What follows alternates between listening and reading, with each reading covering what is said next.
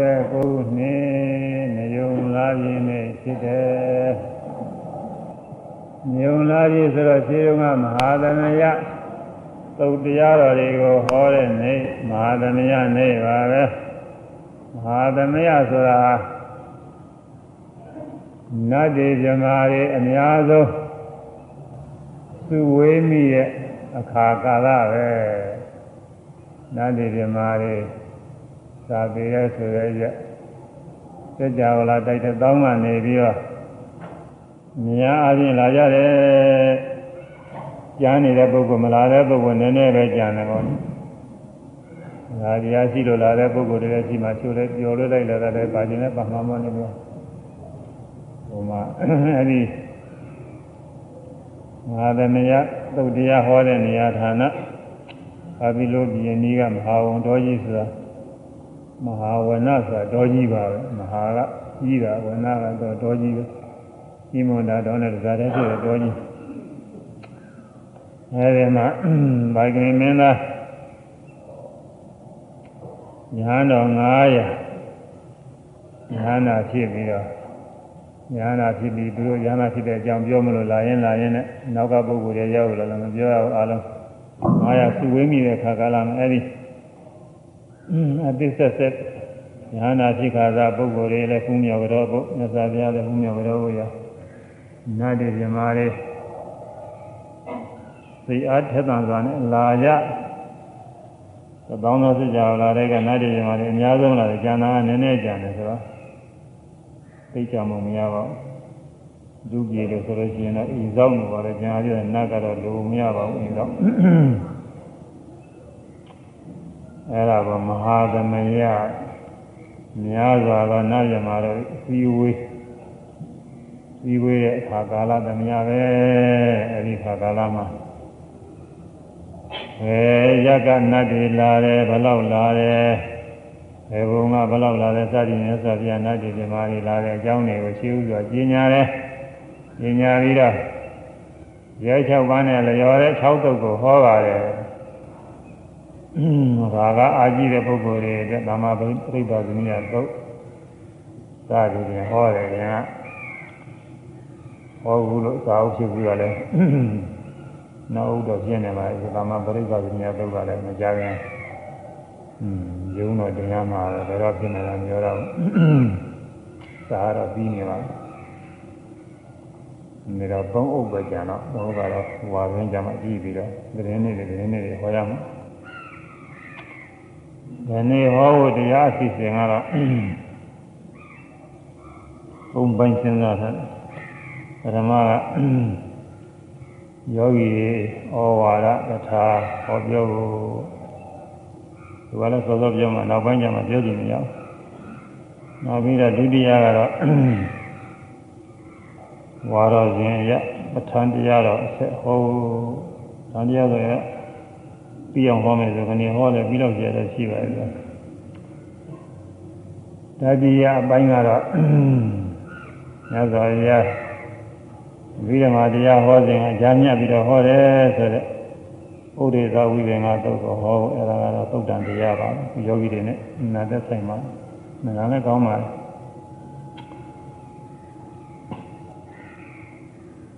ယောဂီတွေနဲ့ပတ်သက်ပြီးတော့ဩဝါဒကထာကတော့ ကြောင်းလည်းရှိတယ်ပြောရတာပေါ့လေ။ဘုန်းကြီးကနေကဟနဲ့ပက်ကဟနဲ့နှမျိုးသောဩဝါဒထဲမှာပက်ကဟဩဝါဒကိုနည်းနည်းဟောပါတယ်နေကဩဝါဒမဟောပက်ကပက်ကဟဆိုတာချင်းမြောက်တာချင်းမြောက်အားပေးတဲ့အနေနဲ့ဩဝါဒဒါလည်းနည်းနည်းဟော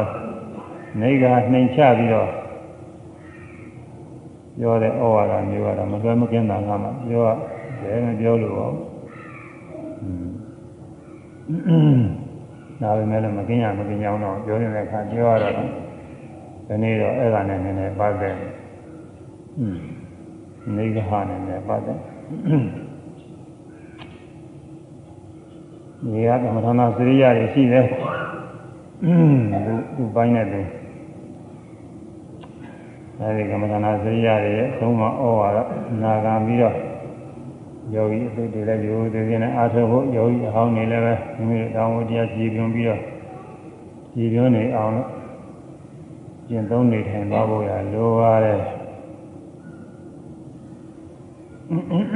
ဝိယဝိဇ္ဇလုပ်တဲ့ပုဂ္ဂိုလ်တွေလည်းဝိယဝိဇ္ဇသူလုပ်တဲ့ချိန်လို့အားတဲ့ချိန်အားသလောက်တရားအထုတ်ချိန်လေးပါလေရှင်အထုတ်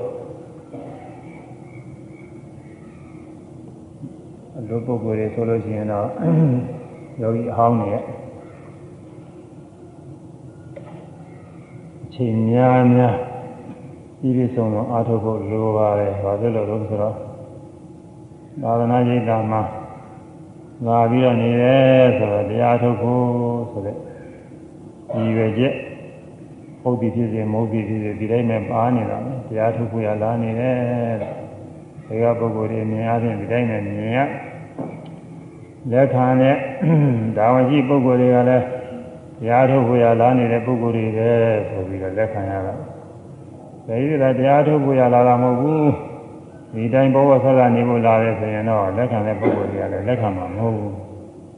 ဘုန်းကြီးတို့သမထဆရာတွေကလည်းလက်ခံမှာမဟုတ်ဘူးဒီကဘုရားသာသနာ့နှုတ်ကအကွက်အကွက်ကလည်းလက်ခံမှာမဟုတ်ဘူးဒီတော့ဘောဝဆက်လာလကားလာနေဖို့ဆိုရင်တော့ဒါလည်းမခံဘူး အဲလာနေတဲ့ယောဂီအဟောင်းတွေလက်ခံတာသူတို့သာသနာ့ဤဓမ္မတရားထုတ်ဖို့ကိုယ်အိမ်မှာနေရင်တခြားနေရာမှာနေရင်တရားကိုစောစောမြဲမြဲသက်သက်တန်တန်နဲ့ယူယူဆဆနဲ့အာမထုံနိုင်ဘူးဒီမှာသက်သက်တန်တန်နဲ့ယူယူဆဆနဲ့ချမ်းချမ်းသာသာနဲ့အာထုံနိုင်အောင်လို့ဇာဘာနာဤသာလာနေတယ်လို့ အဲဒီလိုရည်ရွယ်ချက်နဲ့ယုံကြည်ပြီးတော့ခွန်ကြီးတို့ကဒီမှာယောဂီအဟောင်းတွေဆိုလက်ခံရတယ်ဒီကံဝိရိယပါတယ်အတိုင်းဒီကံဝိရိယပါတော့ဆိုရားပါလိဒါဘုန်းကြီးတို့အမိုင်းဒါစရဲအဲ့ဒီမတိုင်ငင်ကကူပါပဲယောဂီတွေနေရာကြတဲ့တော့ဉာဏ်စဉ်တရားနာပြီးခွန်ရက်ထီအောင်ယောဂီအသေးအဖြစ်ချင်းပြီးမှပြီးရဲ့ မေလိုတတ်ထားပါဘူးဒီကံဝိရိယအဲဉာဏ်စဉ်တရားနာပြီးခွန်ရက်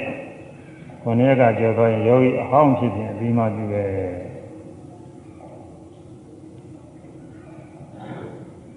ယောဂီအသစ်ဆိုတော့နေရာတွေပါလေရုပ်တရက်မရွှေဘူးပေါ့မလွယ်မကင်းတာရင်လည်းဒါလည်းရွှေရတာပါပဲဟိုတုန်းကပထမစလာတော့ဒီမှာနေရာကလည်းနဲတာနဲ့ဒီလိုပဲရွှေရပြောင်းမှလည်းချိုးလည်းစိတ်ပြက်ပြီးတော့ကြံသွားတာတွေတော့ရှိပါတယ် အနေရချာတဲ့ပုဂ္ဂိုလ်တွေအပေါ်မှာမကြည်မနှဖြစ်သွားတာတွေတော်တော်ရှိပါတယ်ဒါပေမဲ့လို့ယောဂီအသစ်တွေတော့မနာမလွဲမကင်းလာတာမှရွှေ့ရပါယောဂီအဟောင်းနေရွှေ့ရဒါကြောင့်ညာစဉ်တရားနာပြီးခုနှစ်ရက်အတွင်းတော့ယောဂီအသစ်အနေနဲ့သူ့ကိုရွှေ့ကြကြည့်တယ်မရွှေ့ဘူးအဲဒီခုနှစ်ရက်ကကြော်လို့ရှိရင်တော့ရွှေ့ကြကြည့်ရင်ရှောက်ယောဂီအဟောင်းဖြစ်ခြင်းအပြီးမှ ယောဂီအောင်ပြီးမှပြုထားတော့နေရာရှိရင်လည်းပဲနေနိုင်တယ်နေရာမရှိရင်တော့ပြန်ရမယ်ဒီလိုဒီကားဝေတွေကလာပါပဲ။ဒါရင်တော့ယောဂီအသိတွေပါလေဆန်းဆန်းသာနေဖို့ရအတွက်ကြီးပဲပြီးတော့အသိမှပြုထားတဲ့ဒီကားဝေတွေပါပဲ။နောက်မှယောဂီဟောင်းနေကြတဲ့ဘာဝနာရည်ဒါပြည့်နေလို့ရှိရင်ယောဂီအသိတွေ လာဖို့ရနေဖို့ရကြတဲ့နေဒါကြောင့်အဲဒီ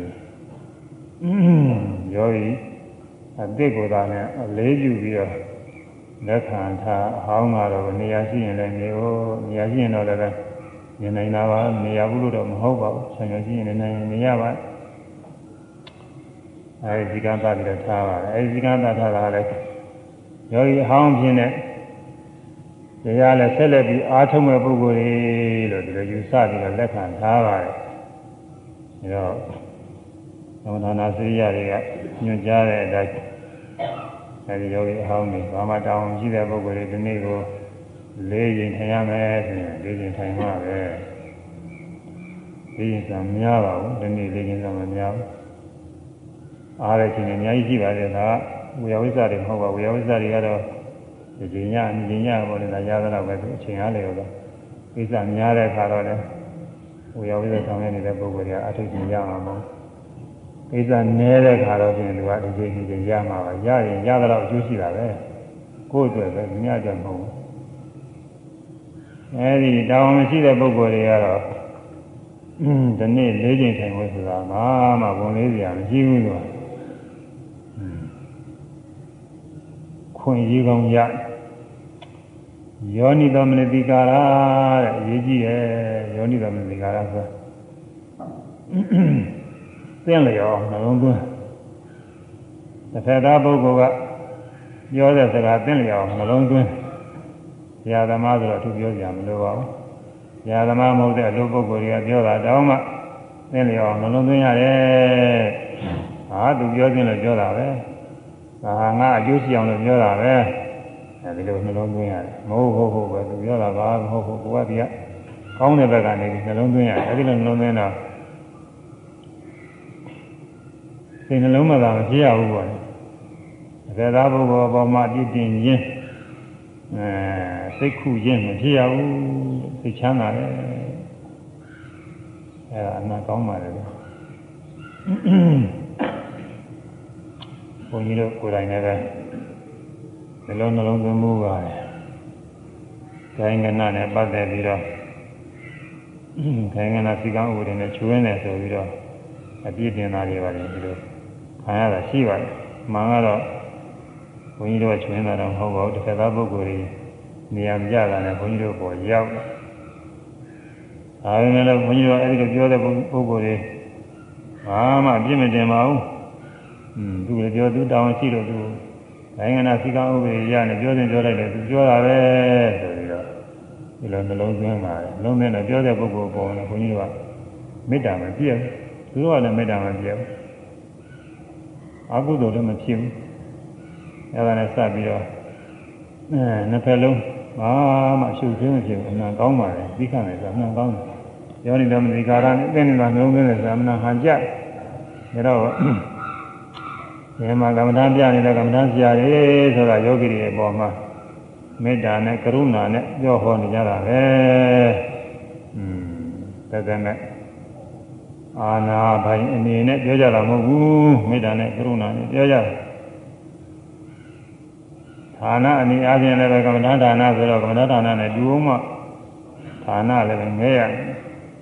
။ယောဂီအသိတွေလည်းငဲရတယ်။ယောဂီဟောင်းနေအာမထုတ်ခိုင်းနေနေလို့ရှိရင်ယောဂီအသိတွေလည်း စိတ်ဓာတ်တွေကြကုန်မှာပေါ့ယောဂီဟောင်းနေသူတို့ဘာမှမလုပ်ဘူး